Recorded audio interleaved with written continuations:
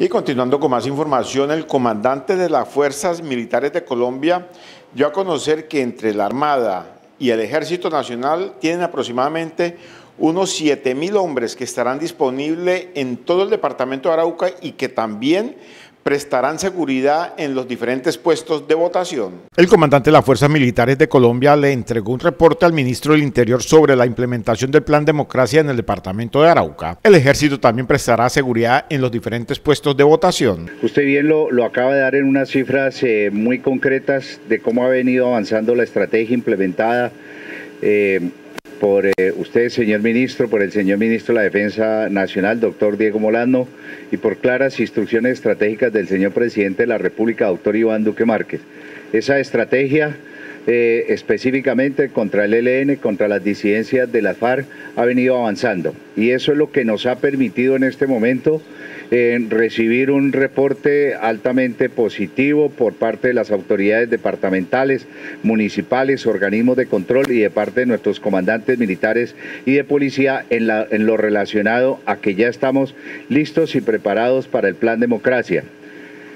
Todos los mecanismos de articulación han estado, señor ministro, funcionando de manera eh, clara, estructurada y coordinada, tanto a nivel municipal como a nivel eh, regional. El comandante de las Fuerzas Militares de Colombia, general Luis Fernando Navarro, dijo que preocupa es la ola invernal en algunos sectores del departamento, pero ya se puso todo el despliegue militar. Eh, la ola eh, invernal eh, afecta algunos puntos específicos del departamento, en el Piedemonte eh, Llanero, en la isla Reinera, pero también pusimos a disposición nuestras capacidades para facilitar no solamente el movimiento del material eh, electoral, que prácticamente, prácticamente está todo dispuesto, sino también el movimiento de las, de las personas que van a hacer uso del derecho al, al voto.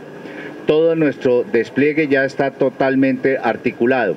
Además, también se hizo una, una mención a la alerta temprana que hay para el departamento de Arauca en áreas específicas.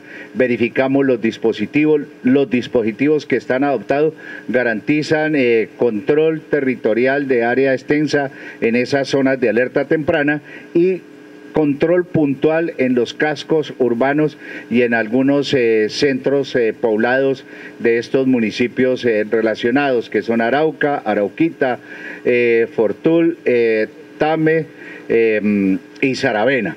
El alto oficial aseguró que entre el Ejército y la Armada Nacional tendrán más de 7.000 hombres durante elecciones presidencial. Nuestros efectivos están ya a disposición es muy importante resaltar, son unas cifras muy importantes entre Ejército y Armada Nacional.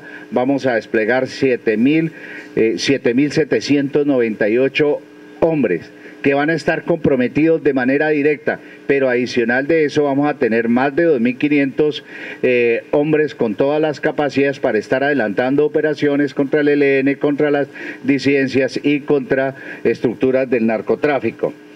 Importante eh, el soporte logístico de apoyo a la misión que va a haber. Vamos a tener más de 214 vehículos en apoyo a estas operaciones. Aeronaves eh, del ejército, aeronaves eh, de la Fuerza Aérea para transporte de tropa, para vigilancia de las vías, plataformas de inteligencia, aeronaves no tripuladas. Nuestra infantería de marina está desplegada por el río Arauca eh, con, eh, con sus elementos fluviales y estamos hablando de que vamos a tener 14 botes de manera permanente en operación. Señor ministro, el departamento de Arauca está ya listo para eh, las elecciones del próximo domingo.